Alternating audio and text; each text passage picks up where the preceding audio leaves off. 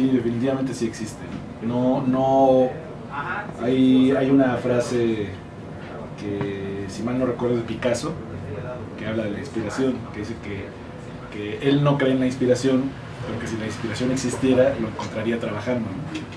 Entonces yo creo que sí, que sí, eh, efectivamente uno tiene que trabajar las ideas y los textos, pero a mí me ha pasado por lo menos muchas veces que eh, ves una imagen en la calle o te viene un recuerdo y, eso, y, es, y esas imágenes son detonantes de, de, una historia mayor.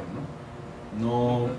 No, le podemos, no podemos esperar que la inspiración nos dé todo, pero sí hay cosas que detonan ideas que se pueden desarrollar después. Yo diría que sí existe. uno de los momentos así que tengo eh, mis recuerdos más viejos y tiempo más felices fue cuando eh, mi mamá me leyó Tom Sawyer. Entonces me acuerdo, mi mamá trabajaba toda la semana, convivía poco tiempo con ella porque trabajaba mucho. Y los, los sábados en la mañana, eh, pues yo era muy pequeño, ¿no? Y, mi mamá me leía, estando yo acostado en, mi cama, este, llegaba con, un libro y me lo leía, y ese libro era Tom Sawyer, Y recuerdo hasta diálogos eh, leídos por ella, ¿no? Y ese momento, esos momentos los recuerdo con mucha alegría porque, eh, una, pues porque era, era el, momento que yo esperaba en la semana para estar con, con ella, ¿no? Porque la veía muy poco. Eh, y además porque Tom Sawyer es muy divertido. Y, yo recuerdo que, que, mientras ella me leía, particularmente en, la parte donde, donde Tom eh, a los otros niños para que ellos pinten la barda por él, que mi, mamá me decía que, que, ser inteligente era era mejor que ser fuerte o que ser este o que tener otras cualidades, ¿no? Que la mejor cualidad para un niño y para una persona era ser inteligente.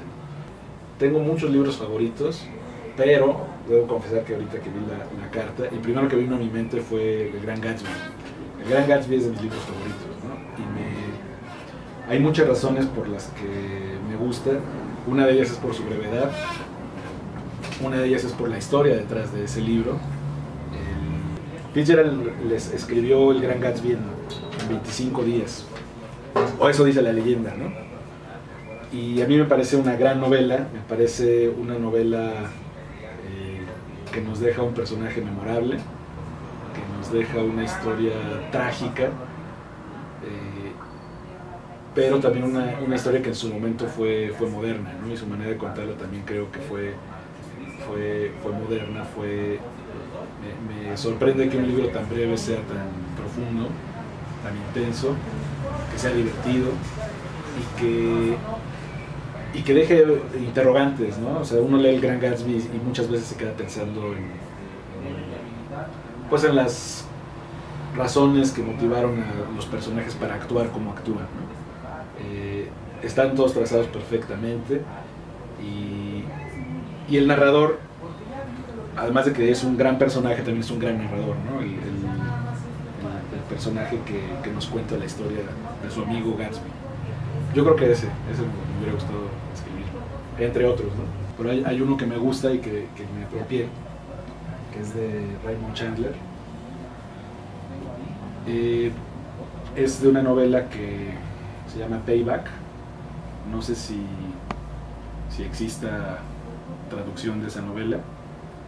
Yo la leí en un PDF en inglés, me mucho trabajo porque no, no, domino el inglés, pero me gusta mucho Chandler y me gustan mucho sus frases cortas y que, y que tienen un gran poder, ¿no? Y esta es una frase que dice, eh, si no fuera duro, no podría estar vivo.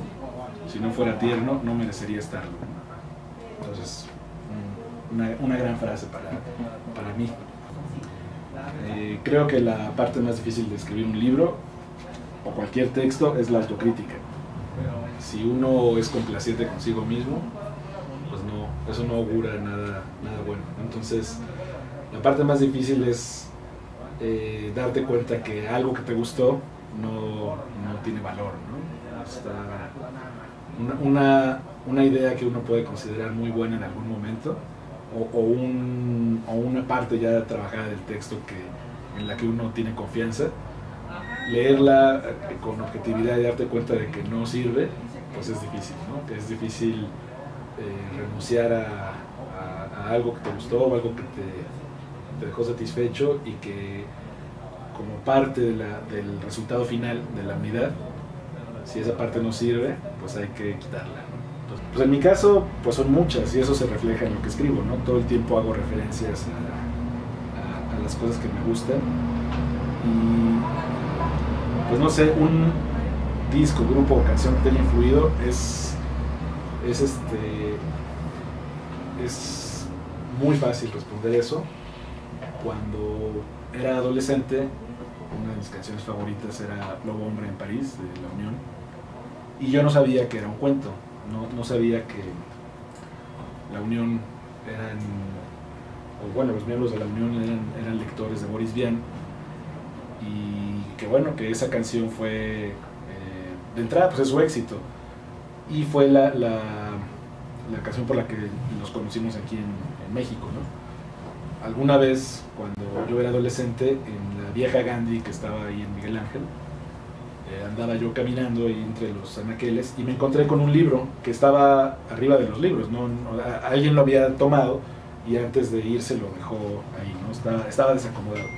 Y ese libro era El Lobo Hombre de Boris Vian.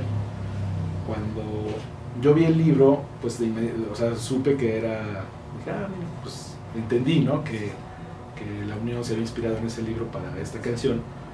Compré el libro y lo leí y hasta la fecha es de los libros que más me han eh, divertido, impresionado, conmovido.